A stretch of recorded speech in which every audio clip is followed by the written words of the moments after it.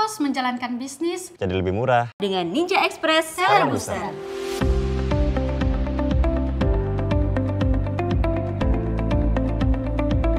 Dulu itu stok saya itu nggak banyak, sering nge-cancel customer. Pengen sebenarnya nyetok barang banyak, tapi uang saya nggak ada. Pengen pinjam langsung ke bank, tapi persyaratannya rumit dan pencairannya juga lama. Lewat program pinjam modal ini, saya dibantu oleh Ninja Express untuk proses peminjamannya. Semua super cepat dan mudah, bisa pinjam hingga 2 miliar dan bunga hanya 1,75% saja. Supplier lokal, stoknya kan kadang-kadang nggak stabil. Kalau misalnya kita mau langsung impor barang dari China, ada kekhawatiran barang yang diterima tidak sesuai dengan apa yang kita pesan.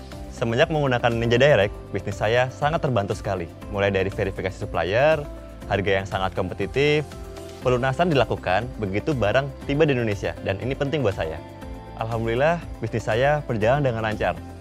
Saya bisa hemat hingga 60%. Produksi yang aman dan saya juga memiliki supplier dengan harga yang lebih kompetitif, varian yang berbeda dan juga tentunya jauh lebih murah. Dulu saya simpan barang di gudang lain, nggak perlu sebut merek lah ya. Jadi di gudang tersebut barang saya itu banyak hilang dan rusak, otomatis itu kerugian besar bagi perusahaan saya. Kemudian saya pindah nih ke Ninja Fulfillment. Di gudang Ninja ini mereka menyediakan fasilitas yang lengkap dan aman.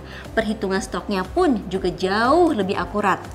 Mereka juga punya tim yang bisa membantu kita untuk packing dan langsung delivery. Kalau dihitung-hitung, jatuhnya lebih murah. Kita nggak perlu capek-capek untuk packing, nggak perlu capek-capek untuk delivery. Nah, Ninja Fulfillment ini menurut saya ya, one stop solution for all. Dulu pengen banget endorse influencer terkenal.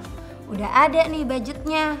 Eh, tapi jadwal postingnya nunggu sampai dua bulanan. Ternyata lewat Ninja bisa lebih cepat dan gratis. Terus dibantu juga loh untuk foto produk katalognya mulai dari MUA, talent, studio, fotografer profesional itu dihandle sama Ninja.